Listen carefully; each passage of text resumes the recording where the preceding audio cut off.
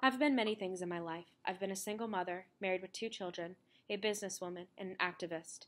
However, while I am all these things, I couldn't quite tell my story without mentioning my son Nkosi.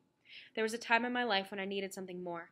My marriage was failing, and at this time in my life, I'd helped set up a shelter for homosexual men living with HIV and AIDS in Johannesburg. I wasn't naive in believing that I could cure this disease by any means, but what little I could do to offer support and assistance, I would. It was there that I met this little boy and his mother, who had then walked into my life, changing my purpose forever. She had traveled a long way and came seeking support for her little son. We had explained that the guest house had served males infected with the HIV virus, and she understood this. She said that her little Nkosi did indeed have AIDS, and that she had given him this disease at birth, and that she too was dying. It was from that moment on that I began to care for this little boy as if he was my own. And in a way he was, and while we were not from the same blood, we had come from the same heart. We both had a fighting spirit about us, him more so than anyone I had ever met before. This child was born a fighter from the moment he entered into this world. He was born into poverty, to a single mother of two, and being born with AIDS, he had a life sentence. After a year, we ran out of resources and funding for the shelter, and it was determined that Nkosi's best chance to live was with me and my family, as his mother's health was deteriorating due to this disease. It was now that I found myself as a mother to the most courageous little boy. The doctors told me that my little warrior was living on borrowed time, and I tried to make his life as normal as possible. When he wanted to go to school, I enrolled him.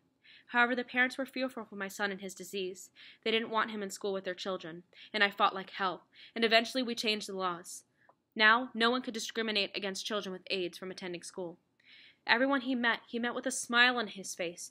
No matter how much pain he was in, he was determined to keep on living. And at the age of eight, he attended his mother's funeral.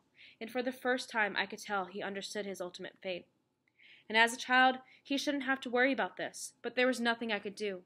All his questions I didn't have answers to, and there was many times where I wish I had. I couldn't tell him why this disease existed, nor more than I could stop it from happening. I had never hated anything else more in my life. But that was the reality of it. We had made a deal, and if he was willing to keep on fighting, so was I.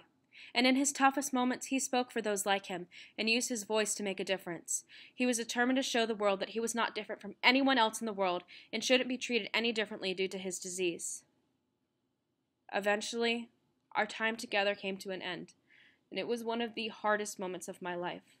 But my little warrior was fighting until the very end, and in fact, he had lived longer than any child in his condition. And while Nkosi was the one child that made the difference in my life, there were still millions fighting his same fight. And for as long as there are children dying of AIDS, I will have a story to tell. Nkosi's story.